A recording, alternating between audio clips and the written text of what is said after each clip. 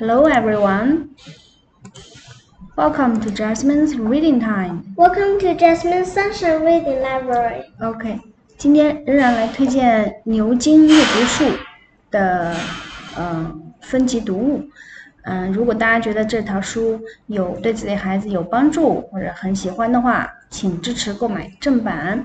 嗯，因为疫情的关系，我们现在手上只有这个电子版，所以嗯稍微过一遍，然后大家可以嗯参考。OK，The Dragon Tree by Roderick Hunt and Alex Brychta. Yes. Kipper was looking at the book. The book was about the dragon. Kipper couldn't read the story. Biff didn't want to read it. She didn't like dragons. Kipper went to Chip's room. Chip read the story. I like dragons, said Chip. Something was glowing. It was the magic key. Oh no, said Chip. Chip picked up the box. He ran into Biff's room. The magic work is working, he said.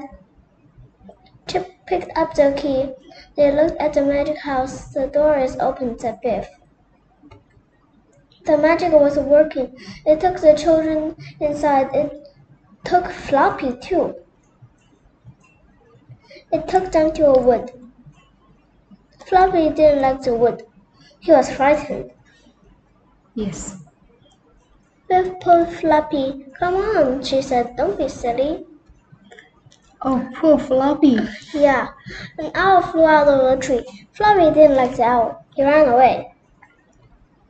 Floppy ran out of the wood. Come back, called Biff. Come back, called Chip. It was no good. Floppy ran and ran. Oh, help, said Biff.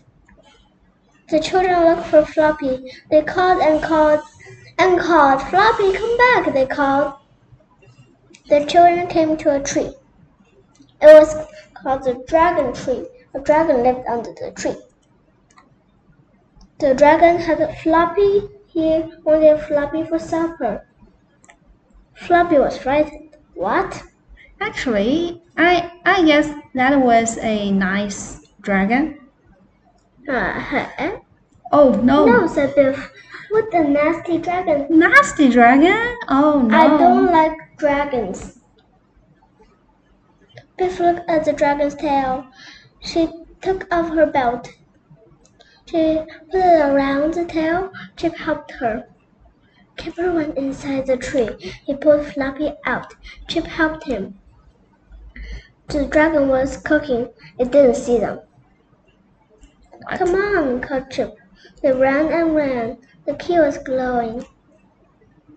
The key is glowing, called Biff. It's time to go home. What an adventure, said Chip. I don't like dragons, said Biff. Oh, that that was really a nasty dragon. yes, But but what? uh, the dragon's tail was just tied to it, so. Mm-hmm. Maybe. Tied on the wood, Yes, that's right. tied on the piece of wood. Yes, that's right. Mm-hmm. Seesaw, right? Mm-hmm. This little picker wood. 嗯哼，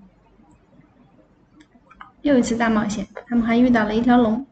好的，嗯，这就是今天的牛津阅读树的故事推荐。喜欢这本书的话，请支持购买正版。希望更多人开始阅读、学习、健身、思考。木小绿，你开始 peace。Peace。